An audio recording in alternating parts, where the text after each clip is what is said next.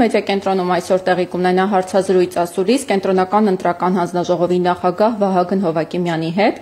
Երաշխավորված է արդյոք Երևանի ավականու ընտրությունների ազատ ու թափանցիկ լինելը թեմայով։ Բարև ձեզ, պարոն Հովակիմյան, շնորհակալ եմ հրավերն ընդունելու համար։ Բարև ձեզ, ես եմ շնորհակալ հրավերի համար։ Եվ այսպես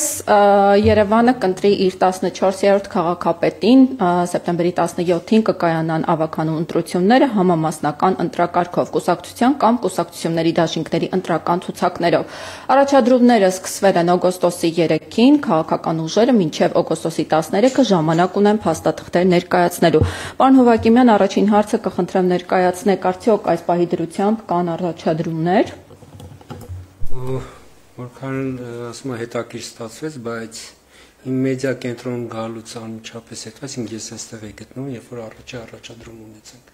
Այս պահին մուտք է արվում Հայաստանի եվրոպական եվրոպական կուսակցություն կուսակցության փաստաթղթեր, այսինքն եթե չեմ սխալվում, նույնիսկ այս բան երևի գործընթացը դեռևս ավարտված է չի, այսինքն 5 րոպե առաջ։ Արդեն մեկ առաջադրում կա։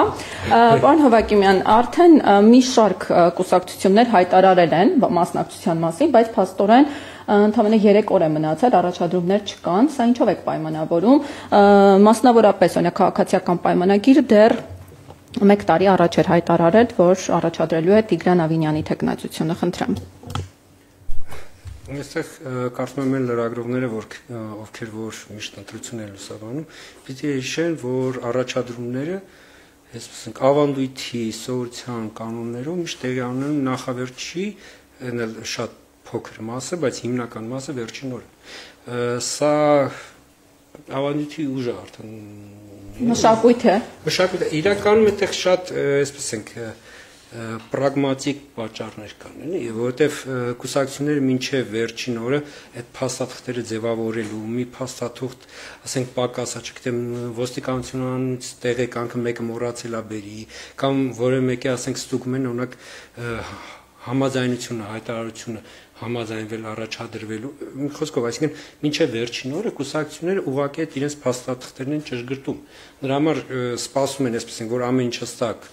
լինի, փաթեթը այսպես ամբողջանա, նոր նոր արդեն ներկայացնում են։ Նաև այնտեղ օրինակ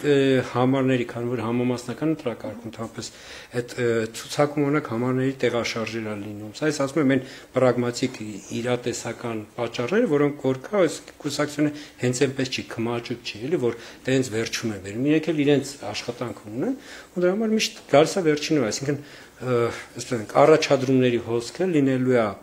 շաբաթ օրը եւ Կիրակի օրը, այնպես որ լրագրողներն են համեցեք այդ օրը